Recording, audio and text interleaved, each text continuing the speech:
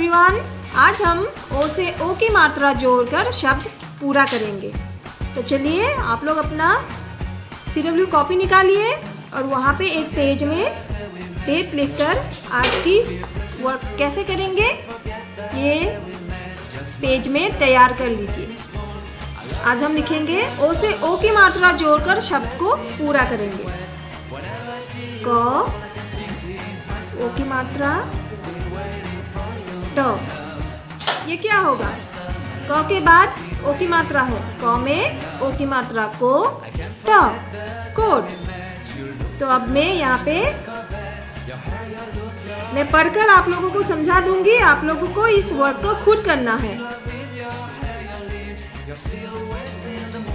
ट, ओ की मात्रा, ट में आ की मात्रा टोटा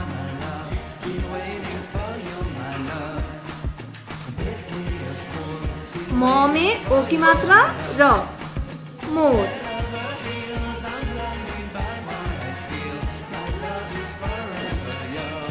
न ओ की मात्रा ट नोट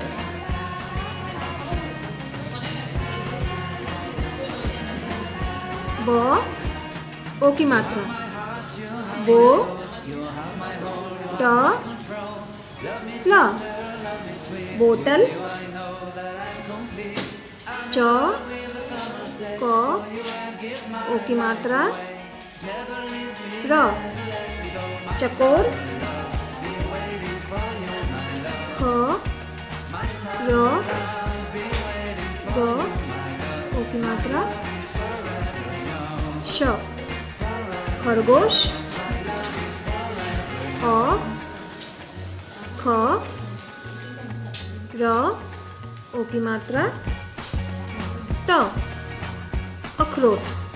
तो चलिए, मैं एक बार पढ़कर आप लोगों को सुना देती हूँ। आप लोग ध्यान से सुनकर इनको ठीक से लिख लेना। ट में ओ की मात्रा टो, ट में आ की मात्रा टा, टोटा। म में ओ की मात्रा मोर मोर। न में ओ की मात्रा नोट नोट। ब में ओ की मात्रा बो, टल, बोटल। च, क में ओ की मात्रा कोर, चकोर। ख, र ग में ओ की मात्रा गो, श, खरगोश। अ, ख र में ओ की मात्रा रो, ट, अखरोट।